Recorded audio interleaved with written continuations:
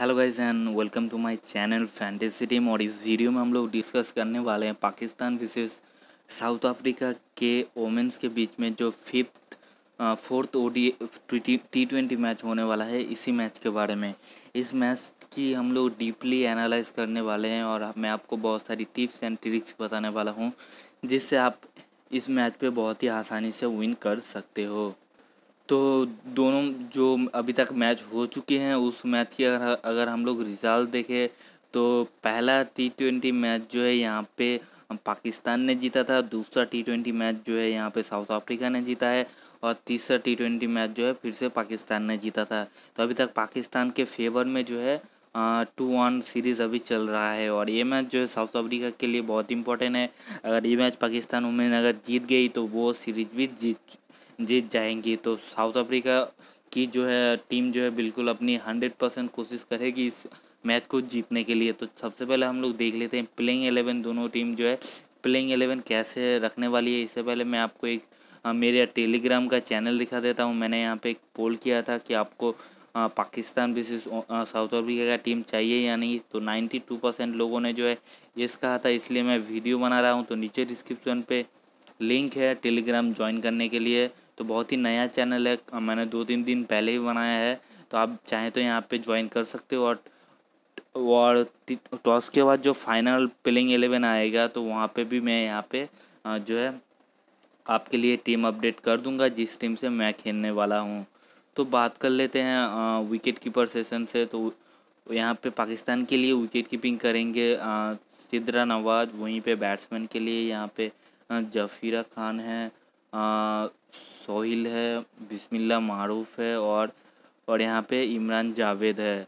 Allrounder की बात करें तो साना में नेदादार और कायनात है, वहीं पे बॉलर्स की बात करें तो यहाँ पे रियाज, नजरा संधू और यहाँ पे समीम जो है बॉलिंग करेंगे। साउथ अफ्रीका की बात करें तो साउथ अफ्रीका पे यहाँ पे जाफ्ता जो है यहाँ पे विकेट कीपिंग करेंगे लाइजिली मैकडू प्रेसेस और यहाँ पे ताजमिन जो है यहाँ पे बैटिंग करेंगे। ऑलराउंडर बुक की भूमिका यहाँ पे चोले टायरोन सुन लीस और यहाँ पे नाइदिन डी क्लैक को जो है लास्ट मैच पे मौका मिला था। और इन्होंने बहुत ही अच्छा परफॉर्म किया था। साथ ही साथ यहाँ पे आप देख सकते हो एम कैफ को लास्ट मैच पे ड्रॉप किया था और शायद इस मैच पे उसे मौका मिल सकता है। किसकी जगह खिलाएँगे, ये थोड़ी बहुत जो है डिबेटेबल चीज़ होगी। अब बात कर लेते हैं बॉलर्स की। तो बॉलर्स पे यहाँ पे आपको इस्माइल को देखने को मिल जाएगा। डैनल ने लास्ट मैच पे अच्छा परफॉर्मेंस किया था। वहीं पे यहाँ पे आप चाहें तो यहाँ पे संगेसी या फिर आप क्लासन को देख सकते हो। इसके अलावा यहाँ पे आप जो है तुमी को जो शायद है, इनको जो है खिला भी सकते हैं। अब बात कर लेते हैं आपको तो प्लेइंग एलेवन पता चल ही जाएगा। इससे पहले अगर आप ड्रीम एलेवन खेलते हो तो मैं आपको सजेस्ट करूँगा आप एम पी एल हाला प्ले और माई टीम एलेवन ज़रूर खेलिए। सब में आपको फ्री आ, कुछ कैश मिलेगा जिस पे आप जो है बिना पैसे ऐड किए जो है बहुत अच्छा खासा अर्न कर सकते हो। इन तीनों की जो है एप्लीकेशन की लिंक और रेफर कोड मेरे डिस्क्रिप्शन पे दिया हुआ है। आप वहाँ पे जाके जो है ज्वाइन कर सकते हो।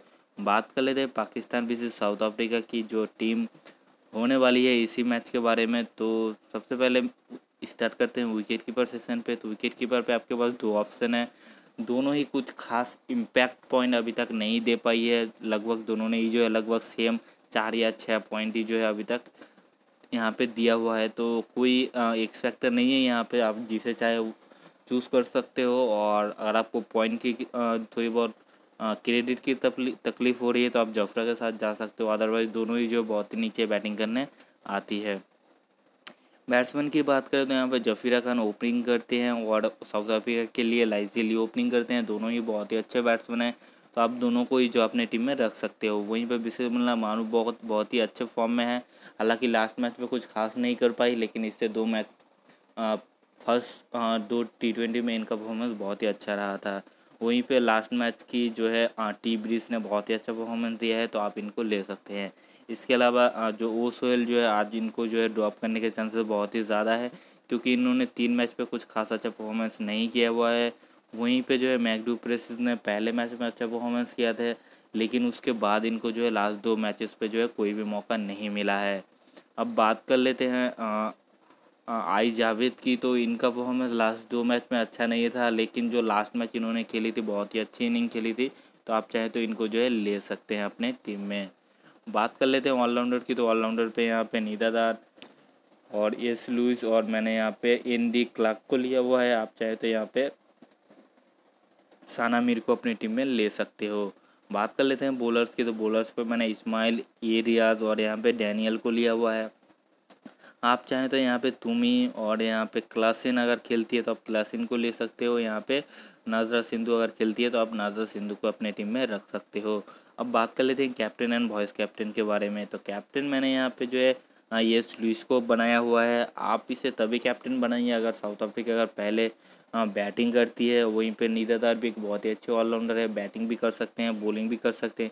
ये दोनों की खास बात यही है, अगर ये लोग बैटिंग से रन नहीं बनाते तो आपको विकेट लेके दे सकते हैं। इसके अलावा आपके लिए एक अच्छी चॉइस होंगी लाइजे ली और यहाँ पे बिस्मिल्ला मारूफ। ये दोनों, ये चारों जो है आपके लिए परफेक्ट ऑप्शन होंगी कैप्टन एंड वॉइस कैप्टन के लिए। तो आपको अगर वीडियो अच्छा लगे तो चैनल को सब्सक्राइब ज़रूर करना और आप चाहें तो मेरे टेलीग्राम चैनल को ज्वाइन कर सकते हो टॉस के बाद मैं वहाँ पे टीम अपडेट कर दूँगा और वीडियो को लाइक करके जाना और मिलते हैं अगले वीडियो में।